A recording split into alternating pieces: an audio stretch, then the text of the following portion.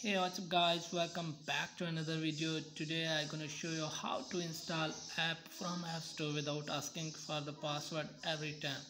So let's get started without wasting any time. First of all we try to install any app from app store. So as you can see app store is loading. Search on google drive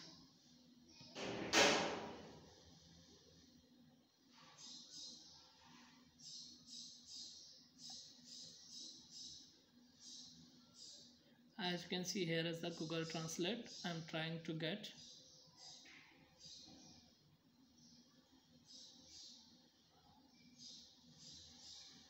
As you can see it's asking for the password. So how to stop it?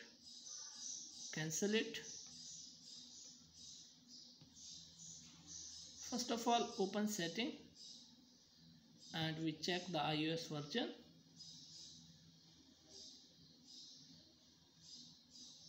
so as you can see I have installed iOS 14.4.2 in my iPhone. So now go to the fix.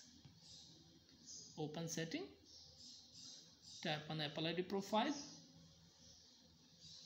Scroll down and type on media and purchases.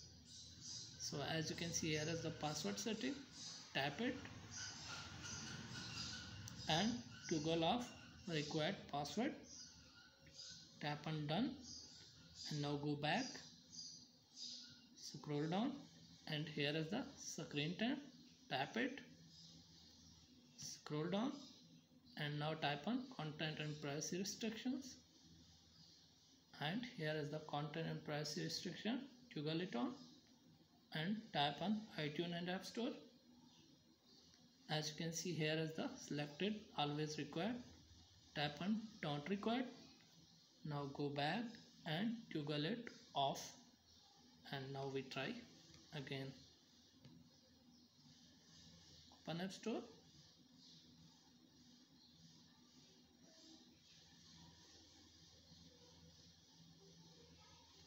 Search here google translate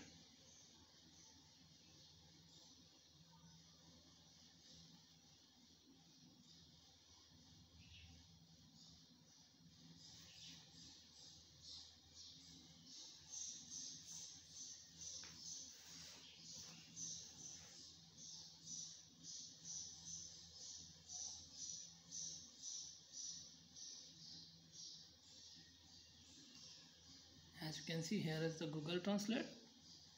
Tap on get. Tap on install. As you can see app has been installed successfully without asking for the password. If you have any problem let me know in the comments and thanks for watching